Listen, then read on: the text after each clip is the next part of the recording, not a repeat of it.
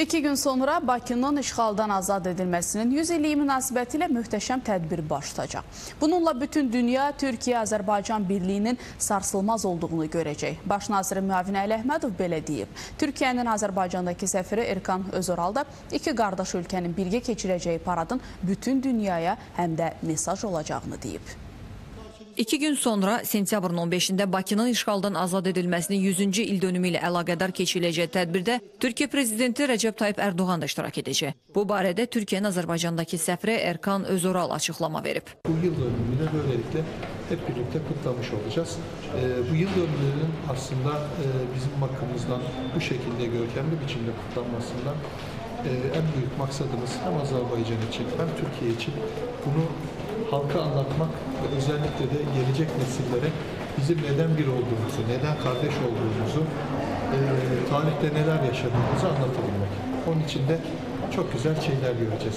Türkiyə prezidenti Rəcəb Tayyip Ərdoğanın Bakının işğaldan azad edilməsinin 100 illiyi münasibətilə keçiriləcək tədbirə qatılması təsadüfi deyil. Bununla dünyaya bir daha sarsılmaz olan Türkiyə-Azərbaycan birliyi nümayiş etdiriləcək. Baş nazirin müavini Əli Əhmədov Bakının erməni bolşevik işğalından azad edilməsinin 100 illiyi mövzusunda keçirilən tədbirdə bu birliyə kölgə salmaq istəyən qüvvələrdən də danışdı. Onlar müxtəlif dövrlərdə müxtəlif layihələr, müxtəlif projelər işləməklə bu birliyi pozmağa çalışıblar.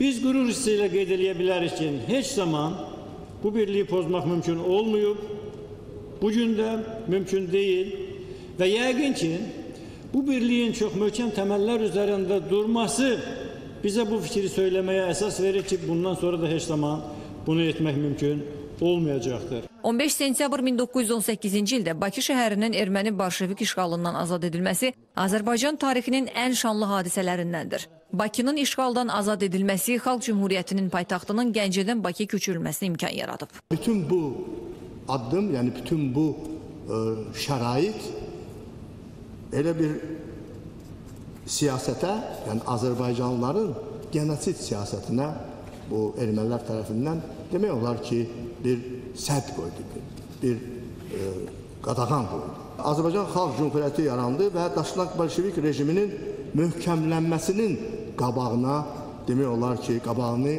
onun möhkəm olmağının qabağını ala bildi biraz. Bakının azad olunması Nuru Paşanın başçılıq etdiyi Qafqaz İslam ordusunun fəaliyyəti olmaqla yanaşı, həm də Azərbaycan xalqının özünün böyük qəhrəmanlıq göstəricisidir. Bakının azad olunmasında Qafqaz İslam ordusu ilə birlikdə Azərbaycanın milli ordusu çox fəal iştirak edir.